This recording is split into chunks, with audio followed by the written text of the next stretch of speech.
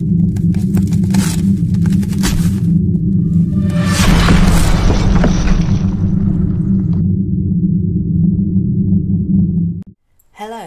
and welcome to my channel where I'll be telling you all kinds of strange stories ranging from true crime to some much less believable although just as fascinating tales.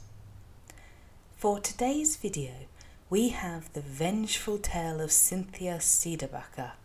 Listen in and see what you think.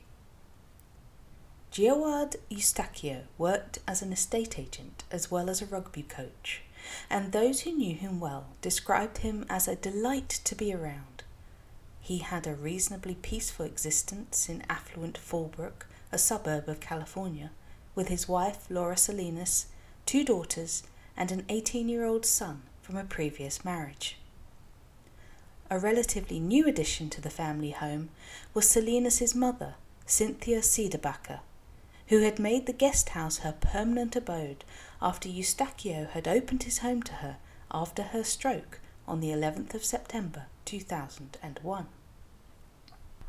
But, despite outward appearances, there was a very sad family inside the luxurious mansion in Fallbrook, California.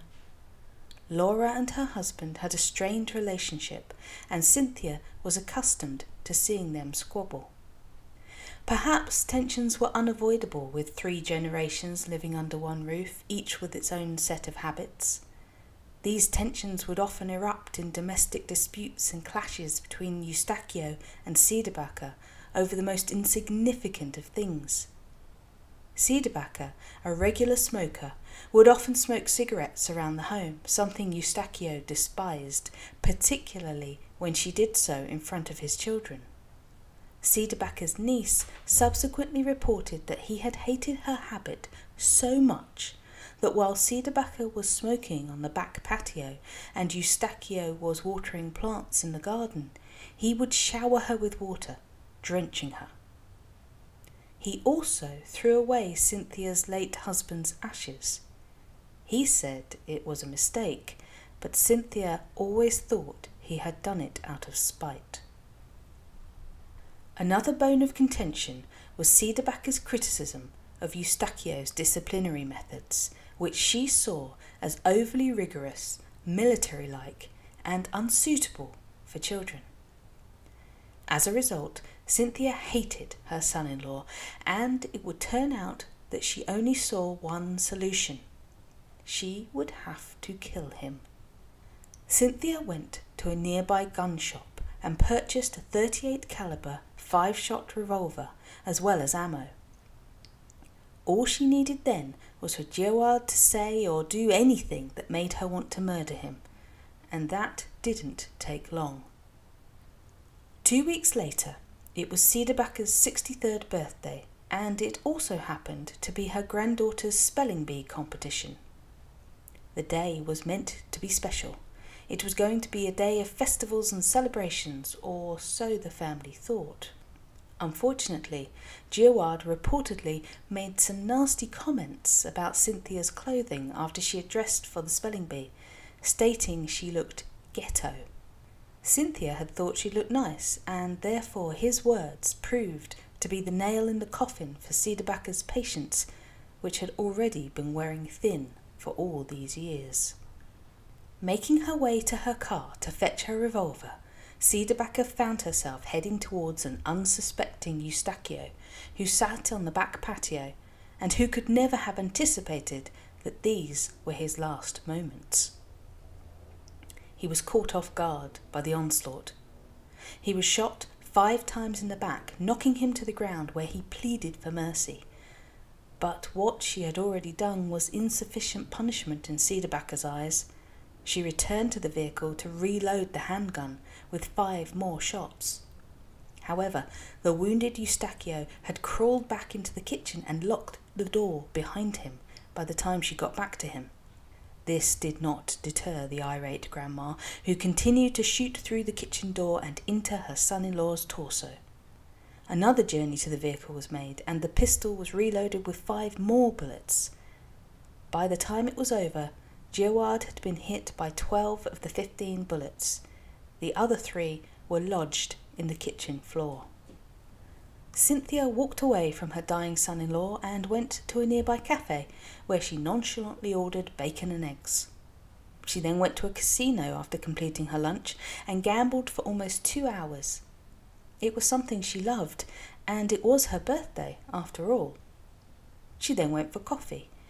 She didn't get to finish it, though, because she was detained at that point by the police. Cynthia began behaving strangely while in custody. She admits in video footage from her original interview that she didn't bother to check on her son in law after she shot all the rounds. I didn't care. I'd do it again, she told the police. When the authorities notified Cynthia about her son in law's death, she burst into tears, which quickly changed into triumphant yells. Cynthia gives an unequivocal thumbs down when the investigators asked her what she thought of her son in law. She told the detectives that Eustaquio had mistreated her and her family and that he had even attempted to suffocate her daughter Laura at one time. Cynthia then said that she'd been planning Geoward's murder for some time and that she'd even gone to a shooting range three weeks before the murder to practice her aim. She rationalised her conduct by informing the police about Geoward's mistreatment of her family. So mean to me, to all of them. Yes, he is, said Cynthia. They were afraid of him. So mean to my daughter. I told her 13 years ago, he's evil.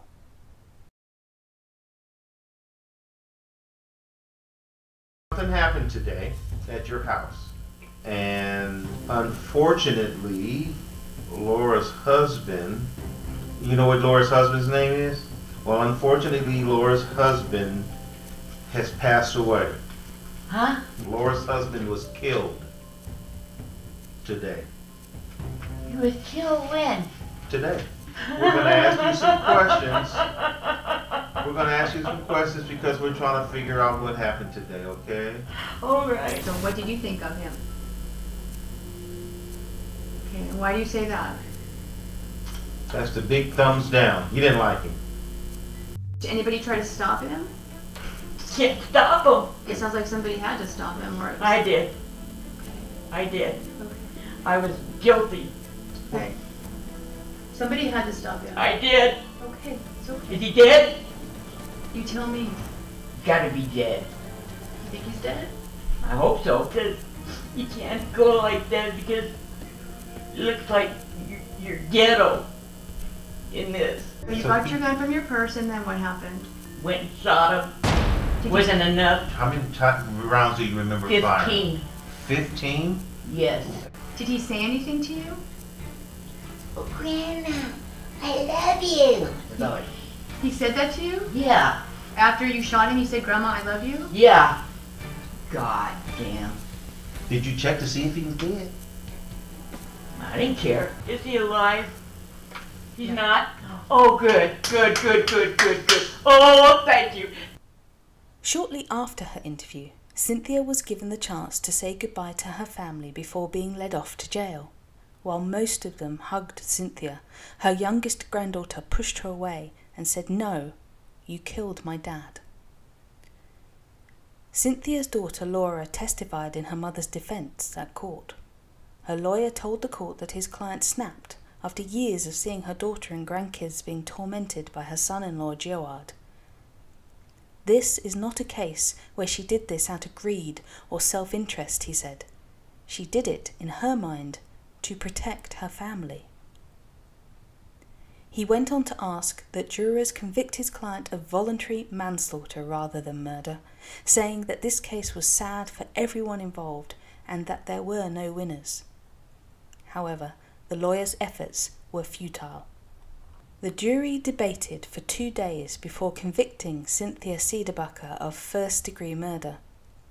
Cdebaca was sentenced to 50 years to life in jail in March 2017, and therefore she will most certainly spend the rest of her life behind bars. Cdebaca was given the opportunity to address the court before being transported to jail. I'm real, real sorry, she sobbed. Cynthia became so overwhelmed with emotions she couldn't speak. Her daughter Laura also made an emotional speech following her mother's conviction. I just want to say that this is a tragedy, she said. I love my mum and I love Geoward. I'm hoping that after today we can move forward. Thank you so much for watching my video. If you enjoyed the content, click the subscribe and like button so you can receive more content like this strange story every week. See you next time.